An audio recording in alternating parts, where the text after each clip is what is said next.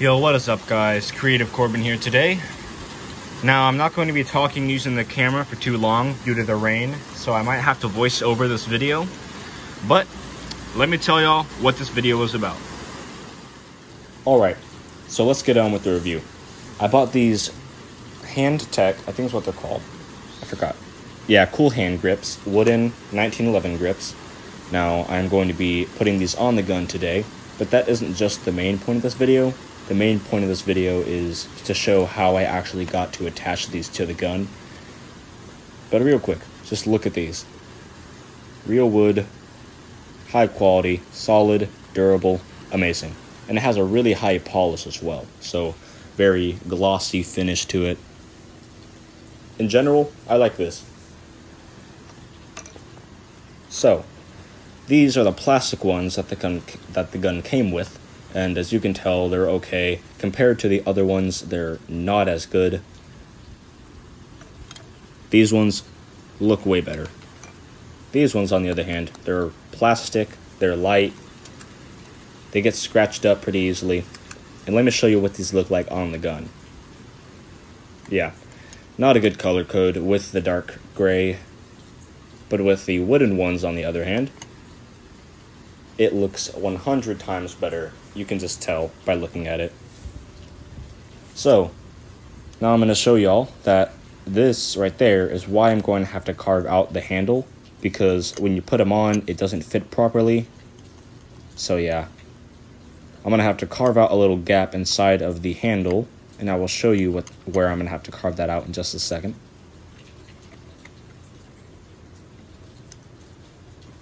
See, these other plastic ones already have a gap carved into them, so they fit just fine out of, out of the box. But uh, they don't look good. I'm going to be changing them out with the wood ones, so yeah.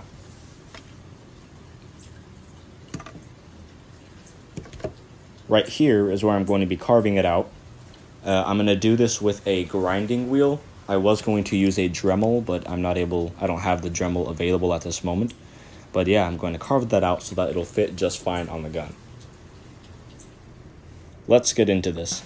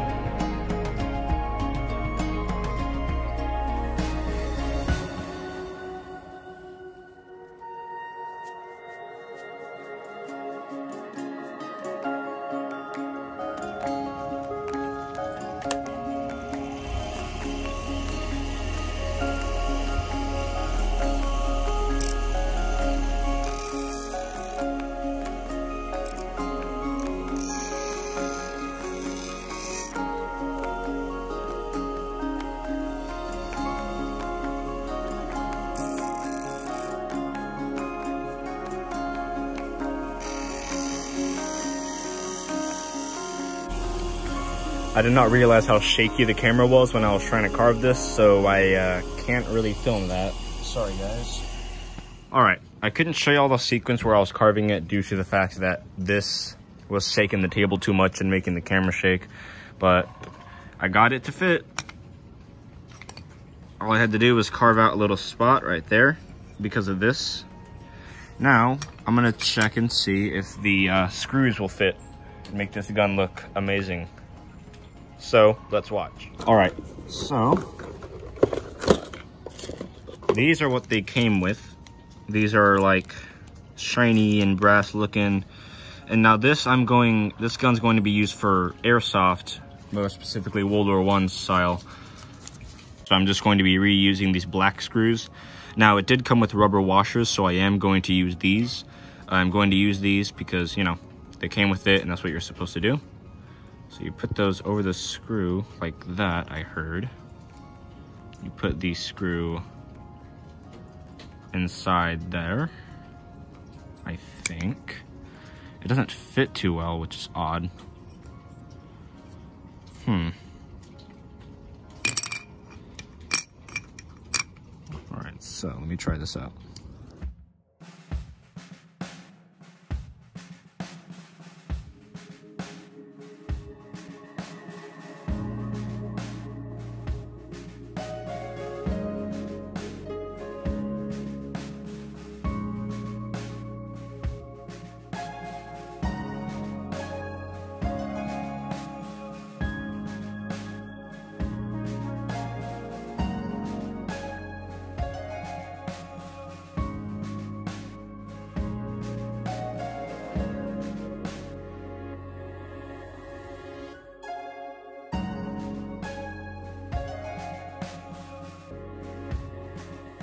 Now, because it keeps a constant pressure, you don't have to screw these super tight.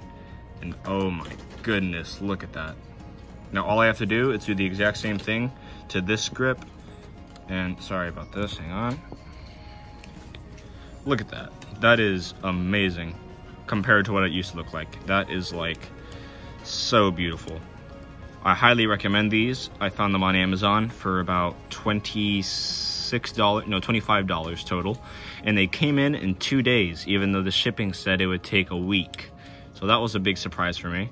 Oh yeah, I also, uh, I scratched up the gun to make it a little bit more war-torn, and it looks amazing. That is dope. This is all dope. All right, guys. I'm gonna get to carving the next one, and we will move on. All right, just got done carving out the last one. Now, time to put it on for the official reveal.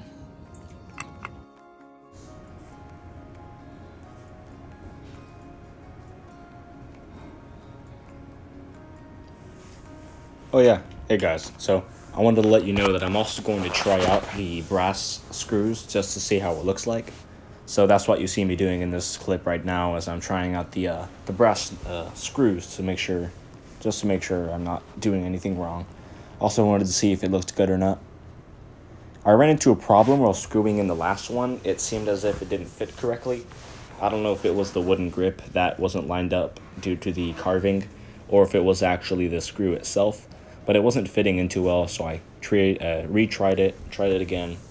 Still wasn't fitting too well, and I didn't want to de-thread it, because de-threading the actual threads of the screw will prevent me from actually screwing in the next, the, uh, the black screws that I'm going to be putting in. So that's what the problem I ran into while screwing in the brass ones. So that's why you'll see me soon change it back to the black ones.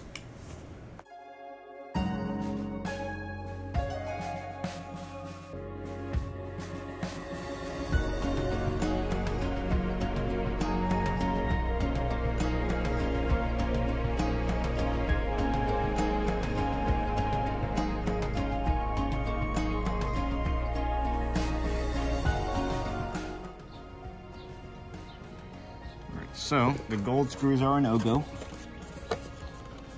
Maybe if you get these and you get this 1911, the gold screw, the gold screws will be perfect. You know me, I'm an oldie, so I don't want them being gold. They don't look as old-fashioned. That is just my personal preference.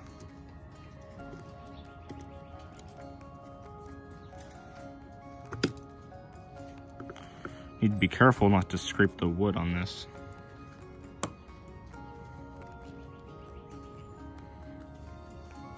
There we go. Now the other screw.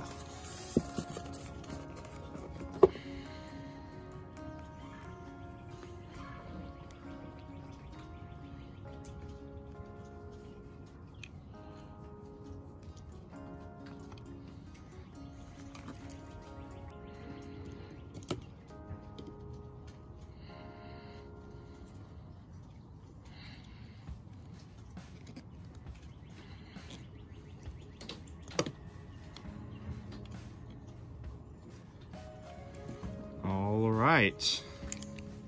Going to retighten these other ones just a bit more.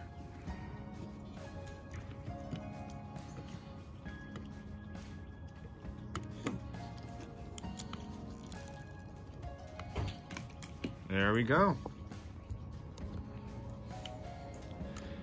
That has got to be one of the most beautiful airsoft guns I've seen, aside from the M1903 Springfield review that I did.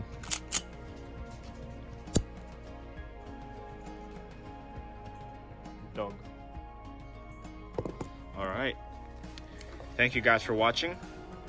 These were the M1911 wooden grips review, and this is my, K my not my KWC. Man, I always forget the name of this one. Here, this box will help you know. That's the gun that I got. Airsoft CO2. If you want to know more about this gun, go check it out. I posted a video about it. Amazing gun. Now let me show you all the comparison between the two. Look at that. Cheap plastic, too dark, doesn't go good with the black. Or the gray actually, is tint of gray and then it just gives it a way more real feel to it. Like, this feels so nice. Alright, thank you guys for watching. Like, comment, subscribe, ask any question, I usually answer back. And I will see y'all in the next one. Peace out.